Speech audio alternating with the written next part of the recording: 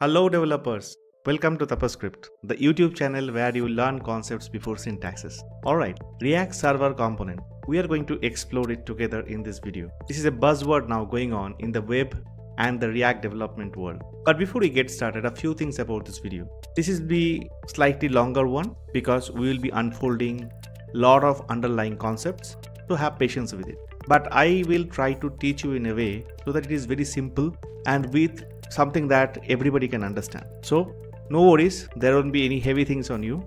Go slow, but understand the concepts very well. Second thing, this is a beginner friendly video. So, it means if you're beginner to React or beginner to React server components, doesn't matter. This video is for you.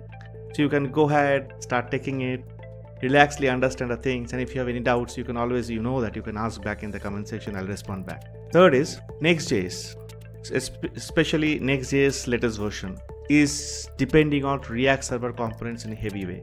So if you have planned to learn Next.js or want to start with Next.js, this video is going to give a lot of insights and help you get started with Next.js quite easily.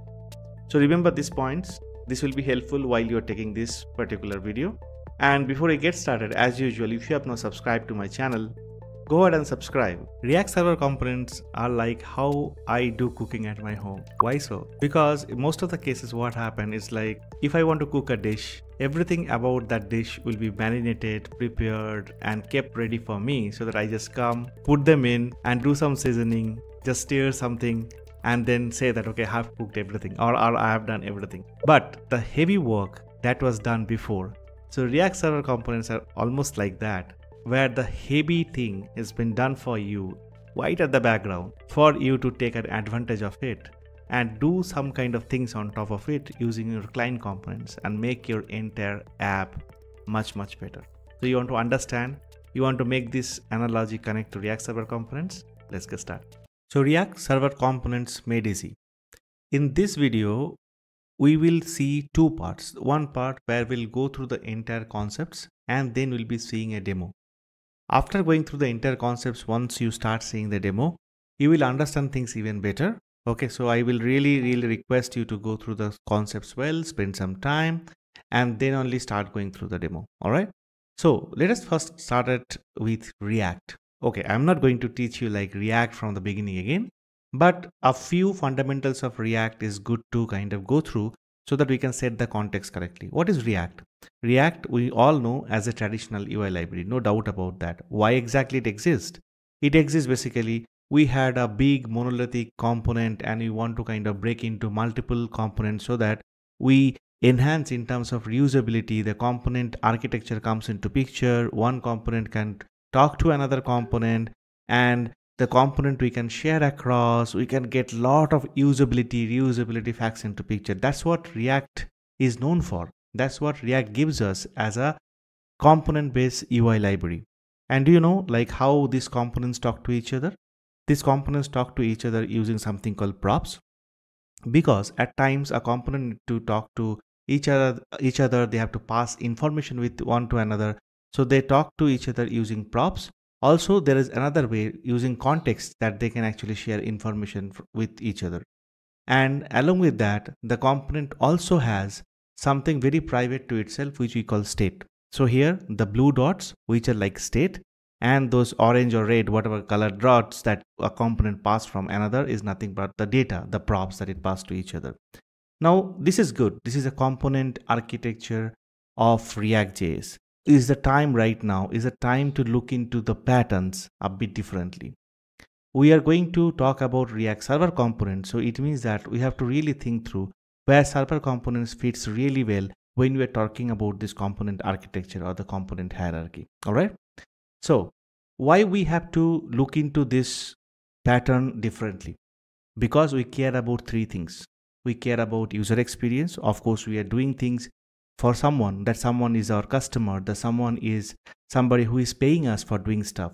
So user experience is definitely a thing that we care for. The second thing we care for maintainability.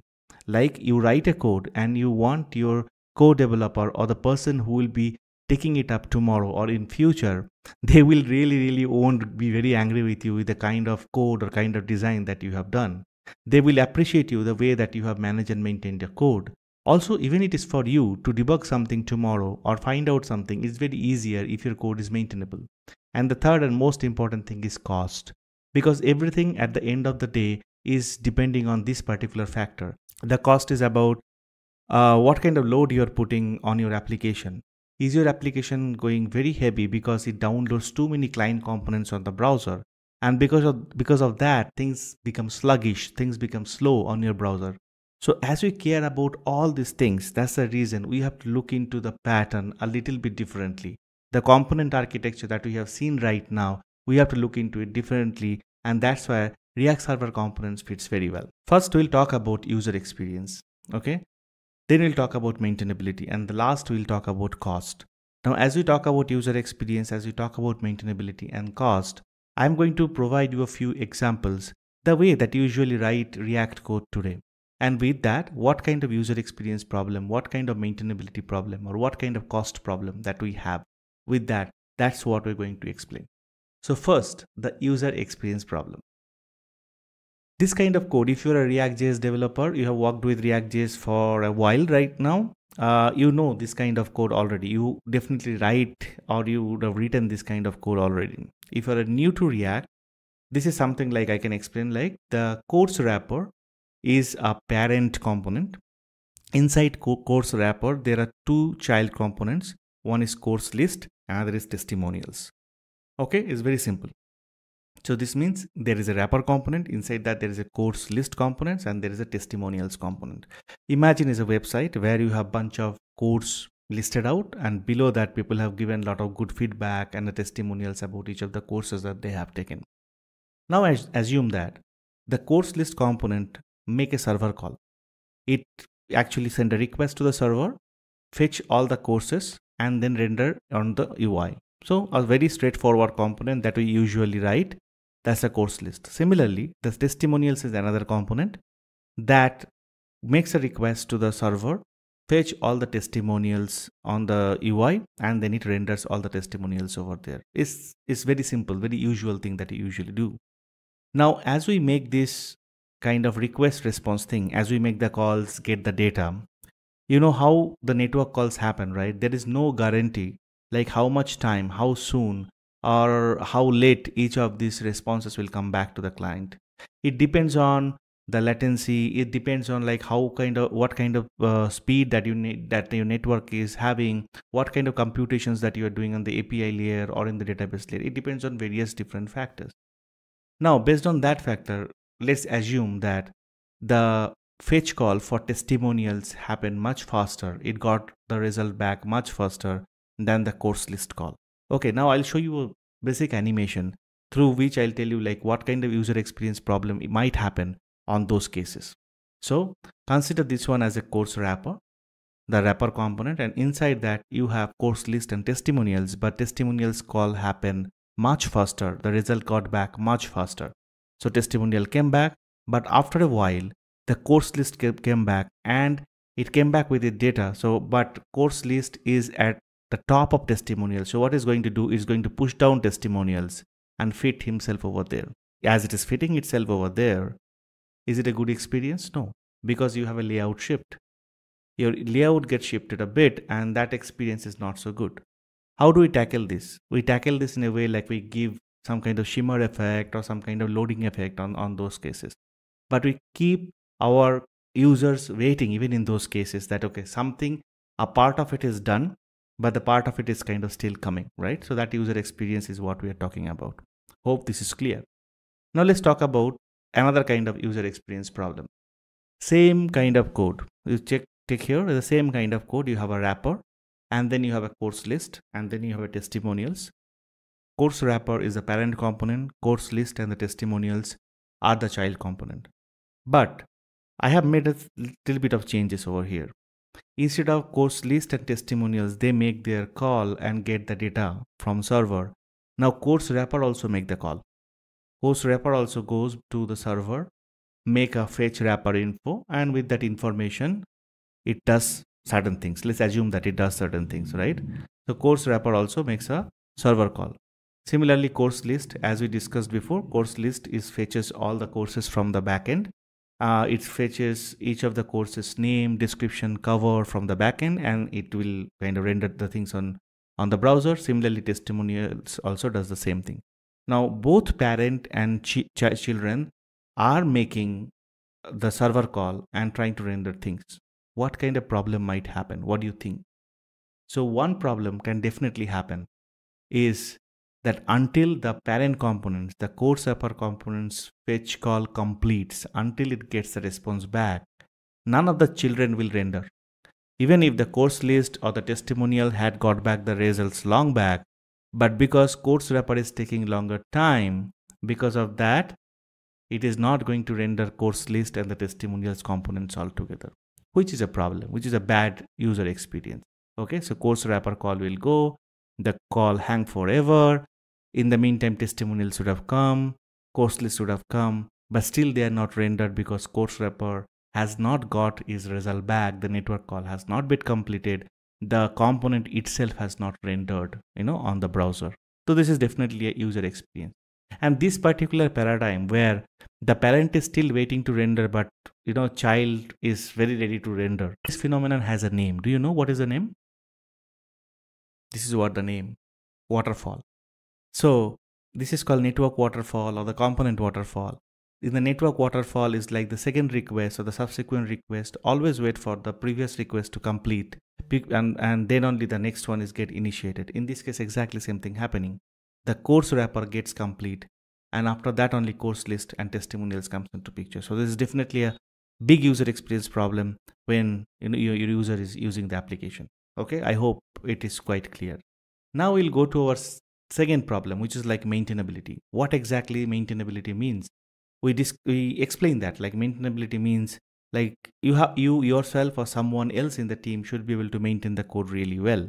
But let's take an example of bad maintainability. Now the same example again. You have a course wrapper then you have course list you have testimonials. Okay? But instead of course wrapper course list and testimonials making their individual API call. Now, if you have seen, like I have taken the API call at the top, right? Now I'm making one API call, fetching all the details, passing the individual, the relevant details as a props to course wrapper, course list, and testimonials. So it means that I'm making only one network call now. There is no multiple network call. I'm getting all the details and then passing the individual components their own information. This is this this solved the problem that we have seen last time. The waterfall problem is not there anymore. But it may introduce one more problem. What is that particular problem? So again, we have course wrapper. Inside that we have course list and testimonial. Now let's say that tomorrow you decide that you don't want the testimonial component again in your application. You just want to drop it off. So testimonial goes off. Okay, but one problem remains, right? The testimonial was depending on info.testimonials data that was coming from fetch all details. What if you forgot to remove the testimonial part of the API implementation from the backend? So it means though your application is not using testimonials at all, but somewhere in your application at the API layer or the backend layer, still you have the details about the testimonials, which is like very unnecessary. Tomorrow somebody might wonder like, why do you have that? So this is a maintainability problem that we're talking about. Like fetch all details still have the testimonial related details but the testimonial component is completely out of picture out of scope for your application. Okay? So that's the maintainability problem that you're talking about. So so far if you understood the problem that we spoke like the user experience problem maintainability problem these are the things that we are already living with. These are the things that react js developers are already writing their code with right? So these problems are not new but we have a solution today. We have something called React Server Components. We'll be talking about it shortly after talking about all this problem. So it is very important for us to understand the problem first, then understand the solution. So that we will understand like why we are talking about a particular solution, a topic altogether. Otherwise, it will be just like, you know, mugging it up and uh, not even acknowledging the true potential of the things that we are learning. Okay. Now the last part is cost. I'm going to show you a picture. I want to like like know like who else can relate to it. And if you can relate to it, post a comment that you really relate to it. So you would have seen this picture over internet. I've just copy pasted from from internet. what exactly it means it means the bulky javascript so i love javascript javascript is something give me uh, bread and butter but we all have to accept the fact like the amount of javascript gets downloaded on the browser on the client side even with the modern javascript frameworks is humongous. Even when there are amount of code splitting dynamic imports and all these things are there still we download a bunch of components bunch of node modules bunch of libraries on the browser and make browser really really heavy. Now for a hobby project for a side hustles it may not be very heavy things. But if you are really working on a project which your enterprise customers or your some users are using for them it really matters for a for a retail application a lag of one second matters a lot so in that case, if you are making your browser so heavy and you're bringing any kind of sluggishness, it's going to end up again in a bad user experience and the user might leave that application and it might cost us a lot. So it is not only the cost that we are getting in terms of memory on the browser, it might cost us back at the end from the end user as well. So all these three factors are known now. Now it's time to understand the client server thing because we're talking about what? We are talking about React server components. We understood all about this client infrastructure with React.js. Now it's time that we understand a little bit about client server. Now this is, consider this like, you know, 56,000 feet above, very high level picture, a client server thing. There are a lot more things happen underneath, but I want to give you a picture about what client versus what server. That's the whole objective over here. So what is client? Clients are nothing where, but where like uh, we usually use our application, right? For example, our handheld devices like mobile tab or our laptop PC, whatever it is, right? On the client side, we have our UI, we have our UX, everything is going on. And there is a server. Sometimes it locates on the cloud or maybe on the physical machine where you have your data, you have a database, data store and things like that. From client, you make a request usually to the server and once server have the data once process the data it sends you back the response. So this is what basically a client server model.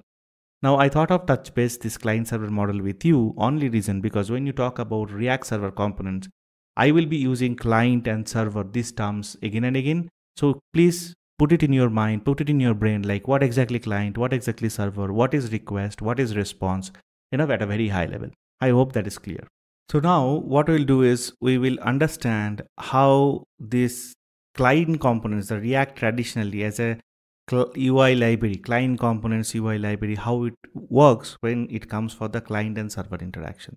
Okay. So let's take this example, our old example. In this example, again, course wrapper, course list, testimonials, each of these component makes an API call, get the response and render their component. So for the example sake, let's consider that we have a course wrapper this is a course wrapper as a parent component and inside that there is a course list a child component okay so you're good with that and there is a server somewhere maybe on the cloud where we have the data store or the database which is having you know data related to course list and data related to the course wrapper testimonials. But for this particular example we only bother about the course wrapper related data and the course re list related data. So what happened? The first our the first thing that happened is basically it will initiate those requests to fetch the data right? So initiate the request the request goes the course wrapper request goes because course list is not there yet because it's a child component of course course wrapper has to complete is execution is data fetching its rendering. Then only course list comes into picture right? Because it's a child component. So the request goes and the response comes back after a while and course wrapper component appears. The moment it appears it renders. The request goes for course list. Course list come back and we see course list also in the ui fantastic. So it works. But what we have seen there is a latency. There is a lag there is a delay by the time course list component come into your ui it has to wait for course wrapper to finish its call, render, and then only the course list come into picture. We have seen this in this example. The client components architecture of React. This is how things work today. Now, what we're going to do, we are going to see the same example, but with the context of React Server components. This is where, let me introduce you the React Server components and try to understand like what kind of problem it solves. In these particular examples, we have talked about waterfall, right? So waterfall means it is high latency. the latency with which the delay is more, more, more between client and server. So the server components. In the server components, same thing. We have a client and we have those two course wrapper and the course list, a parent and the child component. And we have a server, of course. So with React Server components, the concept over here, okay, it might sound a little bit odd, but the concept is very, very, very simple way put. What if the components moved from client to server? So we move the course wrapper component from the client to server. We also move the other component, child component from the client to the server. So it means that what we are saying, okay, from client component fetching the details from the server was introducing a lag, was introducing a high latency. So now let us co-locate these components with server. So it means if they're co-locate, if they are actually residing nearby, what happen is like it is very, very easier for them to fetch the details from the server itself because they are co-located. So there is very less amount of latency. This is what we are talking about, right? So let's see how these things happen. Now, client actually requests this thing, right? Request for data, of course, but my component is already located at the server side. So it is very near to the data store. It is very near to the database. So it means the request that I have made to get this particular component on the client, what happened is basically the component never gets downloaded on the client itself. Rather, what happened? It fetches the data from this co-location, fetches the data from the co-location, and when the response comes back, both the components comes back. The entire part of the component, entire skeleton part of the components comes back for you. And this is much, much faster than the way that we have seen the client component interaction. In the client component interaction, when the wrapper was making the call, the child component has to wait until wrapper finishes his call and come back with his rendering and then the child thing gets started. But with the React server component concepts, both the components are already residing, already co-located to the server so they can actually fetch their details without making a call over the wire. They actually can make themselves fulfill with all the data required for them to render. And then the finally, the component output comes to the client side. React parses that and show it for you together. So there is no lag at all. There is no lag that we have seen previously. So this is where the server component is pretty useful. And this is the very, very fundamental things that you have to understand with this visual i hope it is clear. So we'll move on. Now let's see the another side of it. Now we'll see like how the component hierarchy is managed or maintained for the server components. We know like there is something called server components. We know like what it does. But we know like in react the components are hierarchical. So it means there will be a root component and there will be other child component. And root component from the top down it will pass the data using props or it will share the information using context and that's how the child gets this information. We know that. So let's talk about this thing. So we have uh, some kind of marker here. The blue dots are client component and the green dots are like server components. And if you're working with react you probably know this already. So this is a component hierarchy. You have the root component and the child component and as it goes there is a leaf component how the data get passed it get passed from the top down from the root towards the down, it get passed right? Now with server components the inclusion of server components what we say that some components in this hierarchy can be server component okay? Some components can resides near the server. Some components can be as usual like your regular traditional component react components we call them client component today can be client components. But how do we decide that what are the deterministic factor based on which we can decide what what should go as a server component versus what should reside as a client component okay? The deciding factor is as the components residing in the server they're near the near to your data store and server for faster data processing for giving you the component much much faster they lack in few things. What are the things they lack in as the components residing in the server, of course, they don't have any access, right? Being on the server or anything that happens on the browser. So it means any of the browser events like click handler, mouse move, blur handler, any kind of such handler are not going to work on your server components. Number one. Second thing is like if your components require any kind of state management or effect management, for example, the hooks like use state, you know, use reducer or use effect if you want to use, you cannot use them in the server component. Of course, because the server components are not available on your browser at all.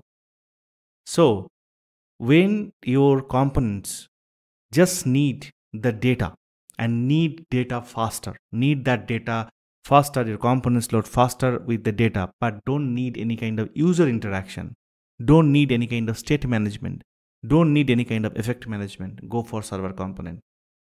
But if your components need user interaction like click, like mouse movement, any kind of user interaction, or a state management or an effect management, you want to go for a client component. Now you might want to ask, like in most of the React components that you would have written, your effect managements were were for mostly about fetching the things from the database and get the get the things from the API then do you really need use effect anymore? In my opinion you may not use need use effect at all. Because if your usage of use effect is to fetch the data the server component is exactly doing that. Instead of using use effect in the client side and again being responsible for downloading that component in the client side rather write a server component which will never get downloaded in the client side which will fetch the data directly and give you the entire component representation for rendering. We'll see that in a demo in a while. So this is the thumb rule that we have discussed so far. Okay. Another th thing that you can keep in mind when you actually de design or architect your application, you try to make, if you want to use server component, try to make server component at the root instead of client component. And as much as possible, push the client component towards leaf. Why? Because at the server component level, you can start fetching the data you can make your component ready and kind of all the interactions all the state management you can keep it in the client component and just make it at make them at the leaf level for managing right? We are going to see that also with the example when we show, show the demo. So now the question is can you use server components for everything? In the entire application only with server components? Uh, the answer is yes only if your apps do not need any kind of interactivity, only when you don't need any kind of uh, say click handler, mouse handler or anything like that. You can use server components only on your application if you don't want uh, to use hooks like use state or manage any kind of effects. So if that's the case, of course you can go. Also, you can use server components only if your apps do not depend on browser APIs because server components exist on server, they are not get downloaded on client. So it means any of the client APIs like local storage, Bluetooth API, USB API, things like that, you won't be able to have the access to. So it means that in a real application, you won't be using only server components. You also will use client components. It's a mix and match. So you will put it in a way like wherever your user interactivity not there, state management not there, or you don't have to really uh, interact with your web APIs, browser web APIs, you will be you will be considered them as a server components. And wherever those things happen like you need interactiveness and things like that you will be considered as a client component. So when you getting started with the application designing or the architecture itself you have to keep in mind like how are you going to segregate these pieces? How are you going to design these pieces? Such a way so that you separate out your server components from the client components altogether and try to make as much as server components possible because you are going to cut down the, the amount of latency. You are going to make your application much, much faster. Why do you want to lose out so many advantages that you have with server components? Now, as you cannot live without user interaction and things like that, you have to use client components. So wherever that is required, use client components as well. Now, I know what you're thinking. Enough of talking. Let's do some demo. Yes, of course, we are going to get, get into the demo. But a few things about demo. The demo I have prepared, uh, I have used Next.js, not React alone. There is a reason. The reason being, uh, if you are following me um, on my channel or following my channel, you know that I have created a video like what to learn next, whether it's a React.js or Next.js. I firmly believed like what, what where you should focus on. So please go ahead and watch that video. Next.js is built on React.js. So to learn Next.js, you have to have some understanding, a great understanding of React.js, no doubt about that. Now, React.js official documentation itself talk about that if you want to get started with React today in 2023, you better starts with Next.js because it gives you the all batteries included or everything that you can get from a framework. Great. But you need to have all understanding of React concepts so that you can use Next.js effectively. So one of the vital React concept is React Server Components based on which the Next.js app router is written, which is Next.js latest stable release like 13.4 release. And that's a massive, massive rewriting possibly on Next.js and so, so, so much developer friendly. If you know, if you understand the concepts like React Server Components, the concept like server actions and things like that. So the demo that I'm going to show you is written on Next.js but in this demo, we are not going to do any kind of deep dive into Next.js at all. I'll be creating Next.js videos right after this. As I told this particular video, React Server Components is a prerequisite or precursor for that. That's the reason I've created this one. So don't expect any Next.js teaching in this demo. Rather, I'm going to teach you how React Server Components used, how do they look, how client components looked, how server and client components interact with each other, in a demoable fashion.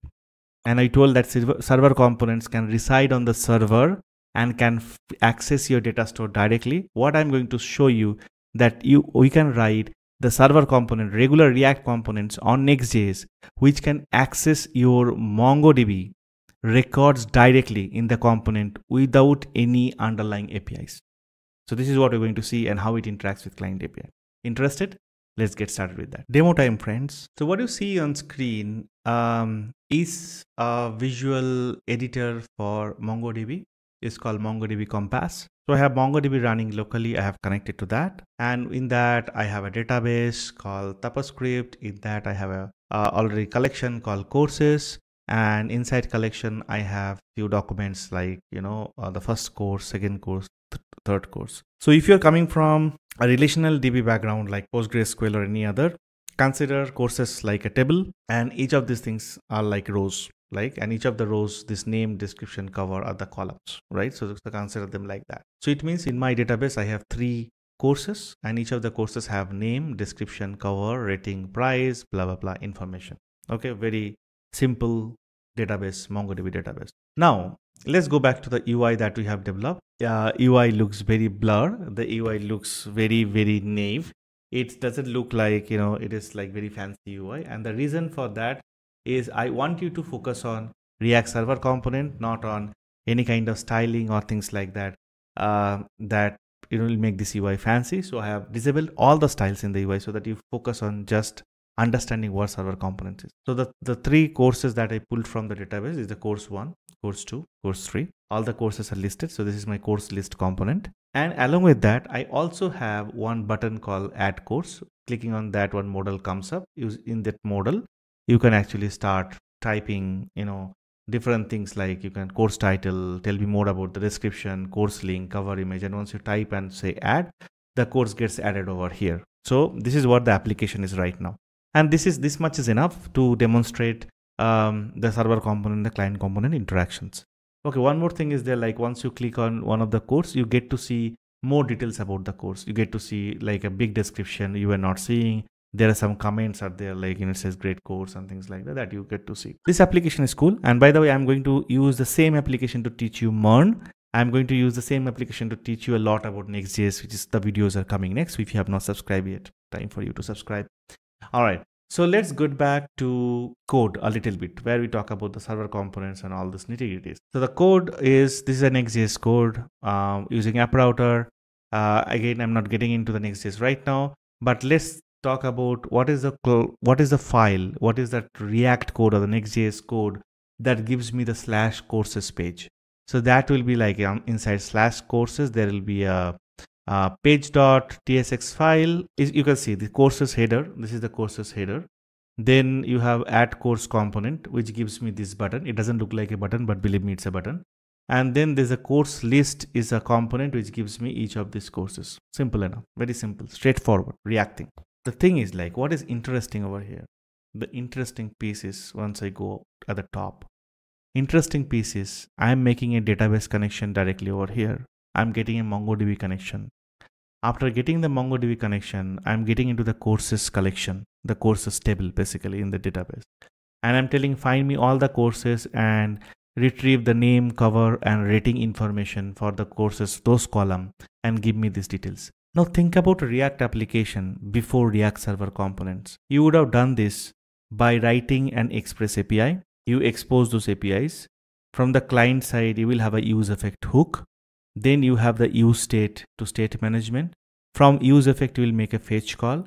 You will retrieve these all courses, put that into your use state and use that state inside this JSX, isn't it? Wasn't it too much work, guys? That's what you used to do. Now with React Server component, what happened? As this component is located near the server, it has the access, it's co-located to database, it's co-located to data store, co-located to server. It has the access to your data store directly. It means that you can use all your backend related packages and npm directly over here and can actually make use of those things to do all kind of things that you used to do in the API layer. You cut down your API layer completely. You're basically using all your server side stuff within this particular component itself, which is very much a React component in Next.js. Now I'll take a pause and tell you one fact. In Next.js, the latest version of Next.js, everything by default is server component. Every component that you create in Next.js by default is server component. That means every component that you create in Next.js, you can use these queries directly. Or if you want, you can also create something like a route inside this API folder. Once we get into the Next.js videos, we'll understand it more. We need some kind of interaction, right? When you click on this add course, I am seeing there is a modal coming. So this means there is a user user interaction, a human interaction is required. And we say, said that when we learn the theory, like whenever there is a user interaction required, what you need you need to have a client component so in the server component you cannot create any kind of handler so now you would have guessed already this add course this particular component is a client component because it has certain kind of click handlers inside it now i told in next.js by default everything is server component so if you want to use something called a client component you have to explicitly tell that this is a client component using this directive called use client so you use this directive at the top of the page before the import and says that, hey, this is a client component. If you don't use use client by default, it is a server component. It is known that it is a server component. And if you see this component, this is where I have this button and I have this on click handler and through that I'm showing this modal. Good enough. So this is my client component and the previous one, whatever I have seen is my server component. So we now know a server component can actually import a client component and render the client component over here. This is very evident, but, but a client component cannot import a server component and render it. Why? Because server components exist where? In the server side. you cannot render them on the client side. But you can import a server component in a client component and pass the server component output as a props. That you can do. But you cannot use them as a child, right? So for example, inside add course, which is a client component, I cannot import another server component and use it, you know, between the mode button and modal over here. However, I can import a server component in this client component and pass the pass that server component as a children to another client component as a props. This is the, this is the rule. If you keep in mind, I think now things are pretty simple for you. Now, one more thing with this example that I'm going to show you, this is where things get much more uh, interesting. So you would have seen like uh, the, this page.tsx is definitely a server component, add course is a client component. Again, if I go inside course list for a moment, the course list doesn't have that use client tag. So it's, a, it's a, again a server component. It doesn't have any kind of interaction. So that's the reason I thought this is a perfect example for a server component. So it is a server component. So we know like something is server component, something is client component. Now if I go press F12, I go to inspect mode, go to sources and go to webpack internals, go to app client and expand. And what do we see? Let's expand the components. Script src app courses components. What do we see? Do we see all these components got downloaded on the browser? Do you see all these components? You don't see. What do you see? You see add course.tsx, add course form.tsx and modal.tsx. Only these components. Why? because these are the only three components I marked as client component. If I go to add course component over here, I marked this at marked it at use client. So these are the components basically are client component and rest of the components are server component. That's the reason the server components have never got downloaded on the browser. Only client components got downloaded on the browser. So this is a huge, huge benefit even from the cost perspective that you're not downloading. Similarly, uh, if you have to access file system, you might be knowing uh, about an NPM called FS. Now you can use FS directly in a Next.js component, server component and that FS will never be downloaded over here in your node modules because it happens in the server side altogether. You are not downloading those node modules on your client side at all, which is like great stuff, right? So I hope this, this small demo helps you to identify what is server component, what is client component, when client component is required, what is server components advantage and, and everything. And again to repeat, I am not teaching you Next.js here. I'm just giving you a glimpse of what server components, what client components look, look like. Hope it was clear to you now. After the demo, let's recap what we learned before we end. We learned that backend access without any round trip is possible with React Server components. You don't need any round trip, no latency for doing any kind of backend access. You access them directly on your component. Great. No waterfalls. We learn about waterfalls your child rendering is not waiting until the parent rendering is taking place right? So this is this is not happening for server components. Automatic code splitting and zero bundle size. So anything you put in the server components they never ever gets downloaded on the client side. In the example we have seen the bunch of components we have created in our app they never come you know in on the client side. So zero bundle size for server components. Of course server components has to get some limitations because they are lying on the server, not on the client. They cannot do things which client components can do, like event handlers, client state, and effect things. And then you have to remember this rule that a React server component can import and render a client component, but the reverse is not true. That a client component can import, but it cannot render a server component as it is. If it has to use a server component inside a client component, you have to pass the React server component as props to client components. Okay, so this is the rule. Of course, because server component stays on server, you cannot render them on the client side. Uh, and the last one, use client component as much as possible in the leaf level and the server component as a root level so that you give it and fetch your data and you can actually architect in your application in such a way that all your event handlings and everything happen in the client component and that stays in the leaf level. I hope it is very clear with the recap now you can stitch everything. You can connect all the dots so far that we, we have come across. So it was a long video, isn't it? I'm sure it was, but it was resourceful as well. So if you have gone through this video and there are a few things that you haven't understood, please go over it again. And then start reading about other tutorials, reading about, you know, from react.dev, reading about it from Next.js or any other tutorials. You will understand, you will grasp things much, much well. And if you have any further questions, the certain things that you are curious about, feel free to put a comment in the comment section.